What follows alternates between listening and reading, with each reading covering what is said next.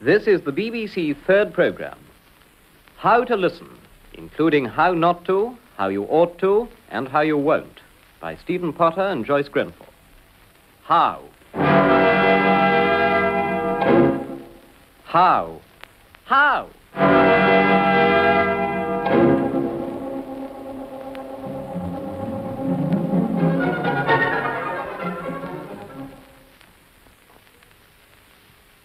Program is about to begin. We are rehearsing the opening announcement. The last details are being added. In the studio, last directions from the producer. The producer is speaking. And rather quicker on cues in those quotation lines, everybody. Last details. We can expect to pick up ten seconds. Oh, yes, thanks. Charles, Charles, you missed that light on page 12. There was a muddle. Yes, I know I did. I'm very sorry, but I didn't know that line was cut. Yeah, the whole line's out. Yes, I know. Entirely my fault. No, my fault. Oh, no, my fault. Yes, my fault. One minute to go. You'll go ahead on a green light then, Pat? Right.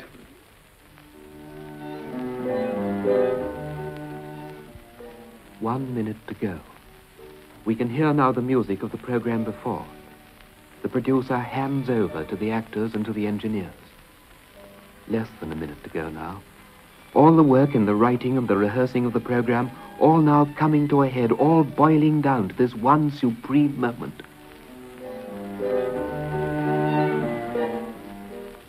Half a minute to go.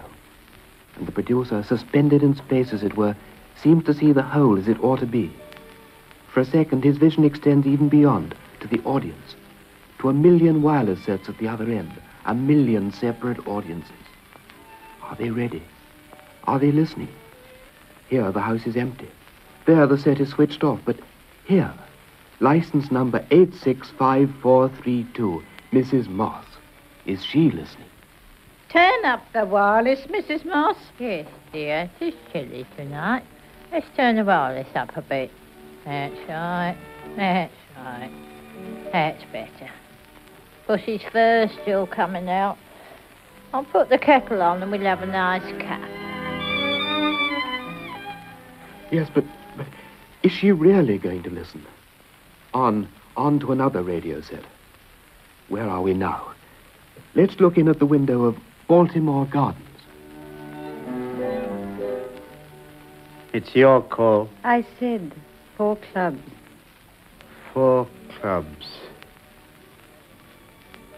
Uh, can I have the bidding again, please? Well, pass one club, pass two clubs, pass three clubs, pass four clubs. Oh, sorry. I say, could we have the radio down a little, please? Yes, let's have it down a little. It's a bit difficult to concentrate on bridge. But my program, they're not listening. Yes, yes, I know. We'll try another set. Rather more promising. Audley Street, Mayfair. I, I'd rather like you to listen to this. I'd love to. it's my new toy. I, I'll switch on. But where is it? Well, the radio set is in the cocktail cabinet, which isn't a cocktail cabinet at all, really. How marvelous. yes, I hope it works because it was fairly expensive. It's a thing called a supersonic incessor switch. Uh, do you know anything about these things? Yes. No, no, no, but I'm frightfully interested. Good. Well, uh, you see, you press your foot, like that, you see. Uh, press your foot, and the wavelength changes by itself. Uh, wait a minute. I think that's it. How marvelous. But my program, doesn't he realize? Can't we? Wait, wait, we'll try again. Pine Avenue. Switch on, listen, V. I can't, I'm all greasy. Well, what's the good of having a wireless if you don't use it? Oh, all right. Thought so. That's the music program. Uh, not quite half past nine. I thought you were going to take the dog out. Look at him. He heard you say that. Well, as soon as I fix the utility awning board, uh, what's it say? A fixed nail 18 inches below point C. Oh, well, being a practical man, I always carry a foot rule. Oh, funny, I haven't got it. Charlie. I'll tell you something about these little sets. This little bit of wire's exactly one foot six from plug to screw, inner to outer. Charlie, you are observant. Uh, wait a minute. Oh, for sec. Got it. Charlie, you stopped the music. Well, what's the good of having a wireless set if you don't use it? Oh, dear. Surely somebody. Let's try Mrs. Moss again.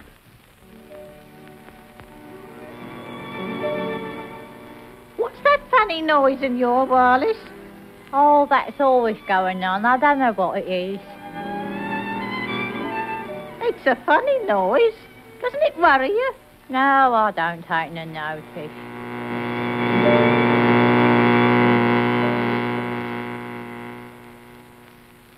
Oh, God, can't we find a better set? A good hotel set, for instance. That ought to be all right. In the hotel lounge, listening in public. Oh, well. There's nothing like silence. Yeah, yeah. Yes, I agree with you. There's nothing like the silence of a hotel lounge after lunch. Uh, no, no coffee, thank you. Isn't it ghastly? How about turning on the wireless? Now we've got a spot of quiet, let's listen to some music. Good idea. That's Rachmaninoff. No, it is not. Not Grieg, is it? Dear lady. I love that thing. Oh, yes, it was in that film about the girl being psychoanalyzed. It was frightfully good. I believe the girl actually did the playing. I mean, it was her actually playing in the film. I'm not sure, but I thought Eileen Joyce did the playing and Ann Todd acted it. I don't think that's the Grieg. All the Rachmaninoff. It was, yes, it was. I do like Eileen Joyce. She plays like a man. Lovely pearl. Stop, stop, stop. Listen. They're not listening. My program is about to begin. My program. I... But who's this? One more listener. Can it be that he is listening? The producer sees, or imagines he sees, the real listener, the ideal listener. And careful, quiet. That's right. Program's at half past nine. Just check again with the radio times, will you, my dear? It's the one we marked, isn't it? Now check with the clock in the hall. 9.29. Just time to tune in properly. Just time to tune in. Dead center. That's right. You made the fire up, dear, haven't you? That's right. Let's see. Are we likely to want the high frequencies or the low frequencies on this program? Not too high like that. Not too low like that. So now, we'll just get quite comfortable. Just a shade in my line of hearing, and you're sitting a little too near, Shirley, my dear. You told anyone not to be disturbed for 40 minutes, haven't you? Now, if you'll just turn out that top light while I turn the speaker up a shade, only a fraction. That's right. I can't bear it. He's found him. I can't believe it. Here he is at last. The perfect listener. The perfect listener. Somebody really listening. What shall we give him? The whole of Shakespeare. The whole of Beethoven. Yes, but wait a minute. Wait a minute. Wait a minute. There's one department of broadcasting that you haven't touched on at all, and you must bring in here and now, and that's me myself. Who are you? I'm listener research. I should like to say that if you're trying to suggest that there's such a thing as perfect broadcasting, you're wrong. Equally, there's no such thing as a perfect listener. Maybe there's such a thing as a best possible listener, but they'll be different for each ty- type of program and different for each hour of the day. Sometimes we ask individual listeners why they listen. They listen, you see, for different reasons. I always hear dance music whenever I switch on the wireless. There's literally nothing on the air except classical music and talk. When do people dine? All the programs I ever want to listen to seem to be when I'm dining. Yes, yes, but you've heard how they listen. My job is to ask them why. Now, if we could now, for a few minutes, switch from one listener to another and ask them why they listen. Now, Mrs. Moss, I've come to ask you a question from listener research. Oh, I never believe in those things. But Mrs. Moss. Oh, no one's ever asked me. I mean, no one's ever asked me. Well, I'm asking you now. Now, why do you listen? Oh, I couldn't do without me wireless. No, that'd never do. Well, I keep it on for the company as much as anything. Well, I don't listen to it all the time, but it's nice to hear it going on. You get used to it. I like to have a sit down and listen to the services, sing a hymn if I know it. I like the bands. I like Sandy. I like the children's hour. Oh, I like anything really. I'm not fussy. But I don't like too much talking. I can't get on with what I'm doing if there's too much talking. Can't make out what they're talking about half the time. Just do it with your self-speak, I think. I see. Thank you. So, um, why do you listen, Mrs. Trubel? Mrs. Trubel. Hmm? Oh, I'm so sorry. Uh, Mrs. Tribal. Uh, well, uh, we English people are fond of a jolly good laugh, and uh, every day they have something for laughing, and comes to cheer every day us up. Once in a while, I'm finding uh, no need for frownings all the time. We English are full of fun and sports. Uh-huh, thank you, Mrs. Tribal. Eh, eh, Tribal. Hmm? Oh, oh, exactly. and now, uh, now let's ask Sydney at school. Well, how old are you, Sydney? You're five, aren't you? I got a little girl the same age as you. He's a little shy. Going on six, actually. uh, ever turn on the wireless, Sydney? Come along, Sydney. Do you ever turn on the wireless? No, dear, don't do that. Pay attention, dear. The gentleman's asking you if you ever listen to the wireless. You do, don't you, Sydney? You like Toy Town, don't you, Sydney? you see, he's smiling. I think that evokes quite a memory. And the music we have in the morning, you like that, don't you? He's not very musical, as a matter of fact. Thank you very much, Sydney. and now, why do you listen, Len? Can I? Step right inside. Thank you so much. Well, this is the sitting room, but I've more or less taken it over for me gramophone and radio. Oh, yes. You see, I happen to be Honsek of the Southeast 41 Rhythm Club, and we have our committee meetings in this room, decide our policy and our attitude to things and so on. I've wired all this stuff up myself, learned all about it when I was working in the bike shop. By Jove, that's a big set, Len. Well, most of that front is baffle board, of course, with plenty of baffle. You don't get so much chatter. Uh, that... Oh, yes, yes. It's a push button control, and it's all two way, you see, for tone. For instance, this is home. Hmm?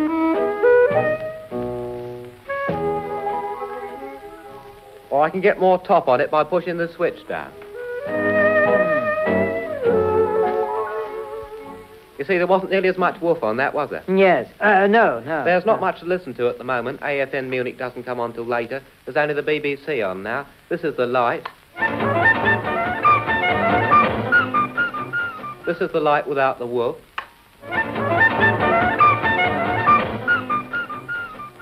And of course, this is program C. You know about that? Yes. Well, it's all on a hypertonic two-way megacycle. Yeah. Outside the megatonic. Oh, you mean that... I mean, you'll get some very funny results. And now, I've always wanted to ask you, do you listen, Miss Fern Brixton? Uh, Miss Fern Brixton? Hmm? Ooh, ooh, yes, rather. And why do you listen, Professor Crump? Well, I have to listen professionally.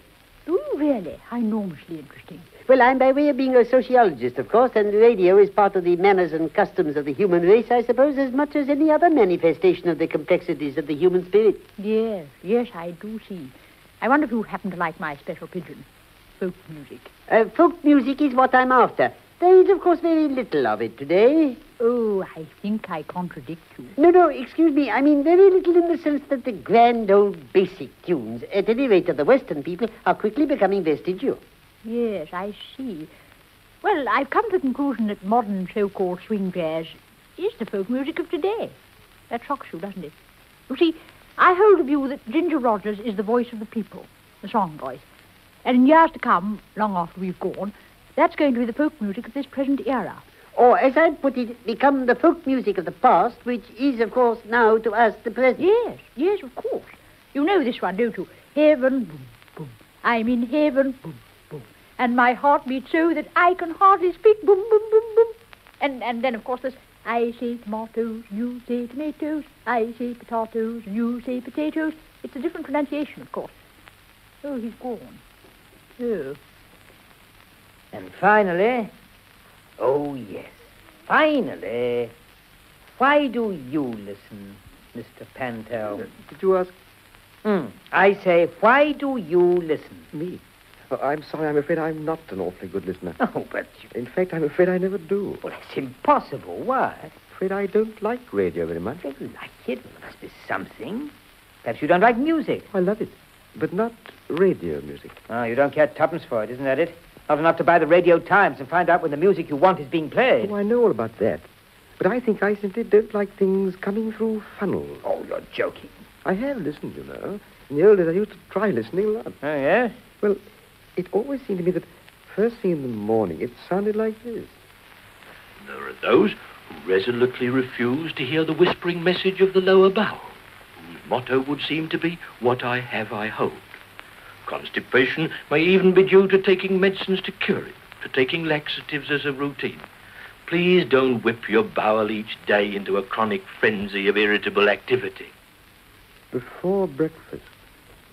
And then immediately after breakfast, or even while breakfast was still going on, it sounded like this. I love you.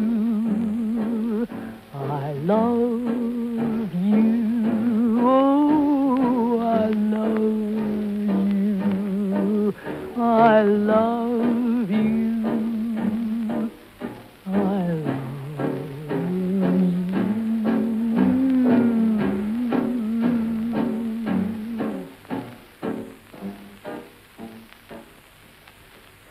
when I listened to a drama or a play, it sounded like this. Look here, Amberton. You can't do this to me. Oh, my dear. If only I had understood. But it's madness. There was only one man who came back from Raj Patal alive, and he wasn't a very pretty sight. You see, I really wanted something jollier. I, I was told to listen to Palindrome Picnic. It sounded like this. And now welcome once more to that quiz wizard, our jovial host, Mac McCutcheon!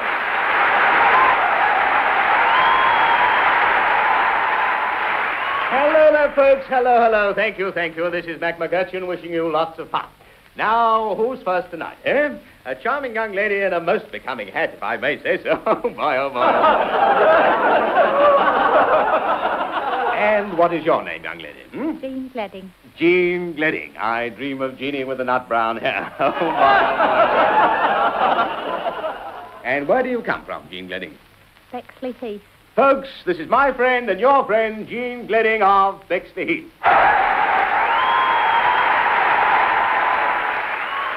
And what did you do in the war, Jean? I was in the ATS. Well done, Jean Gledding. And what are you doing now? Well, I'm still in the ATS.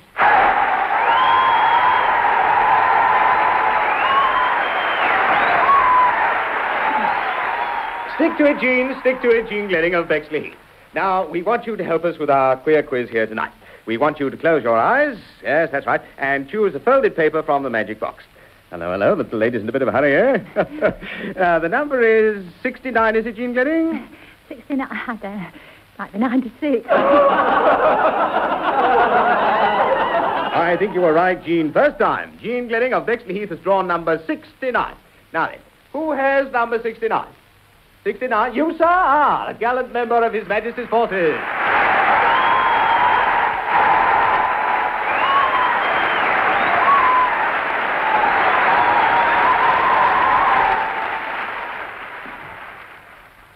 You see what I mean?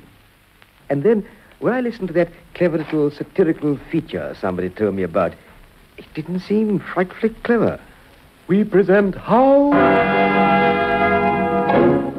to Confuse.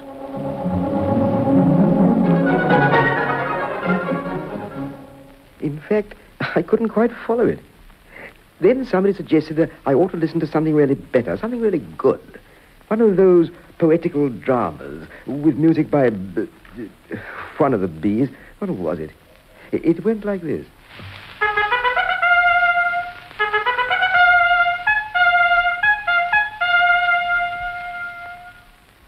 Ho, mighty Pliathon, whose realms all Thrace and the Tyres glean.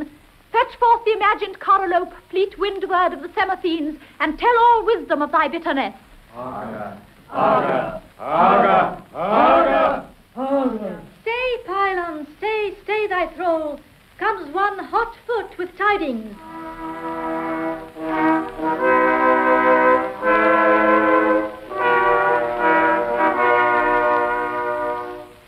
Warn, warn the citizens, warn, warn the aged and the green-limbed youth.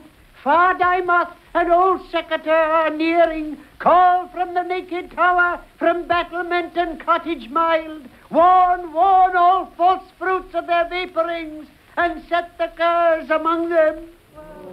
Whoa! Whoa! You do see. Then somebody suggested I ought to listen to one of those spontaneous discussions. Spontaneous discussions, you know. Not too provocative, but of course not afraid either to say what they mean. And now we must let our typical housewife, typical businesswoman, and uh, typical chairman resume. No, that's not what I object to. I object to people not being allowed to do things their way. Oh, come now, Mrs. Hetting. You can't be quite as definite as that, or where would we all be? One must have some rules, you know. Uh, I, uh, I, I think I agree with Mrs. Um, Hitting, Dr. Judge. So long as we deliver the goods, as it were, I don't see that it matters uh, what method has been used. Uh, you, you wouldn't presume to tell me how to run my house, would you, Dr. Judge? Uh, no, no, a thousand times no. uh, well, then, um, nor would I attempt to tell you how to run your office. Uh, not that I couldn't if I tried, but still. You do see. Then somebody told me that if I really wanted to appreciate the marvels of radio, in the mechanical sense, I mean, for the romance of the actual, the, the marvels of the immediate, I only had to switch on at various odd times in the day. This is Kingworthy Sanderson speaking to you from the Britannia. I'm speaking to you now from the chart room of Commodore Sir Brendan Spears on that great ship, the Britannia. Well, we had a very good day. Uh, reporting to give you news of the great uh, of our great ship, the Britannia, I, I can say that we traveled 692 miles in the last 24 hours, which makes us uh, 692 miles further away from the Bishop Rock on our long journey. Uh, now, the, the, the first thing I'm, I'm going to ask uh, Co- Commodore Sir Brendan Spears is what is our destination? Well, he tells me with a wink of his eye he's not sailing under sealed orders, and he can tell us right away. Uh, it is New York. But what about that little gust of wind we blew into just now? I'm asking Commodore uh, Sir Brendan Spears this question. He, he tells me that it wasn't a gust of wind at all. It was a moderate breeze. Uh, and uh, what prospects? I asked him. Well, with, uh, with a wink of the eye, he said. So here, here is King Kingworthy Sanderson saying goodbye to you from the deck of the great ship, the Britannia. So Kingworthy Sanderson hands you over to the studio back to London now. This is the BBC Home Service. That was Kingworthy Sanderson broadcasting to you from the deck of the Britannia.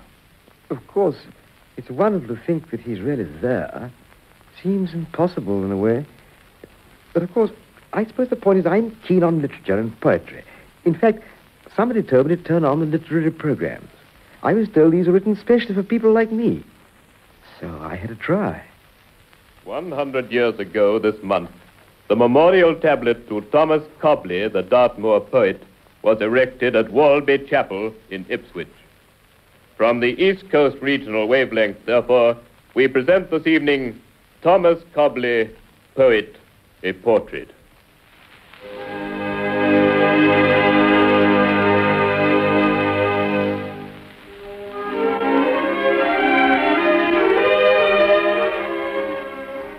Back now, back to 1799 and its quiet streets, time of leisure. In the depths of the Devonshire country and its quiet rills, a boy sits. Ostensibly, he is guarding kine. But, elbows on knees, he is deep in a book. Timmis? Timmis? But his mother, old Mrs. Cobley, approaches furiously. Timmis? Timmis, where be thy wits, rattlebrain? John Coo is almost into the bog, and half thy flock is turnty scattered. I know, Mother. What is it you know, poring alone all day over the printed stuff? It's, it's not like other boys. I know, Mother, But old Mr. Dollington says that books open doors where begging fails.